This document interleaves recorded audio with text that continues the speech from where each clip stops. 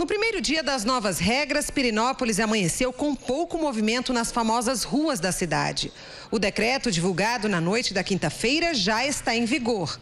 Acompanha o estadual, mas com algumas mudanças. O que difere um pouco do estadual, que nós aumentamos, é a questão da proibição de venda de bebida alcoólica né, aos finais de semana, no sábado e no domingo, e a questão daqueles que já tinham a reserva, né, já realizado, estão hospedados né, em Pirinópolis, ele pode ficar até na segunda-feira, até para não causar esse transtorno maior para o nosso comerciante, para os nossos trabalhadores e também para aquele que já tinha se programado para vir.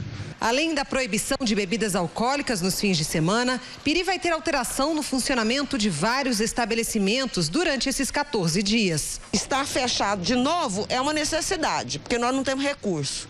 Então, assim, eu como comerciante, eu acho assim terrível ter que fechar, porque eu dependo do meu trabalho, eu dependo do turista, né? Mas se é a única forma que nós temos de conter isso que nós estamos vivendo é o, que, é o que deve ser feito, não tem que ter briga, entendeu? De segunda a sexta-feira tem horário especial. O comércio abre das nove da manhã às quatro da tarde. Bares e restaurante das nove da manhã às três da tarde ou das quatro às dez da noite. Hotéis e pousadas funcionam com 50% da capacidade, mas fecham no sábado e domingo. Só abrem para hóspedes que façam parte dos serviços essenciais. Turistas que têm reserva agendada até o dia 18 podem continuar. É como se a cidade estivesse entrando num lockdown nos fins de semana. Nesta pousada no centro histórico de Perinópolis, a sexta-feira foi de muito trabalho para reorganizar as reservas. A gente agora está tendo que fazer as ligações para oferecer a remarcação das reservas, cartas de crédito, né?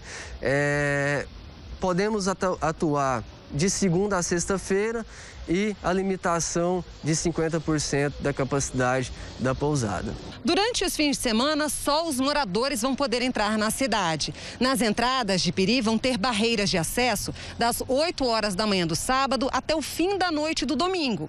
Quem passa por aqui vai ter que comprovar o endereço ou fazer parte de um serviço essencial, mas que esteja vindo para trabalhar na cidade.